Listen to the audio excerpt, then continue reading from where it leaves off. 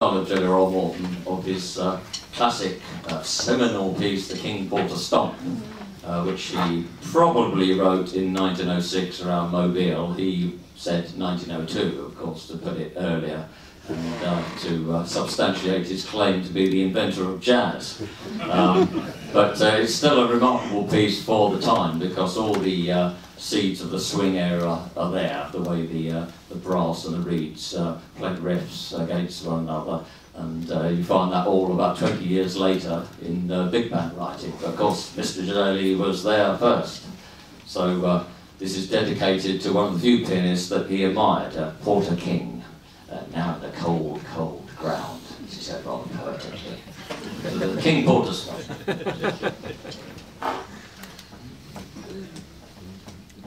A one, two, a one, two, three.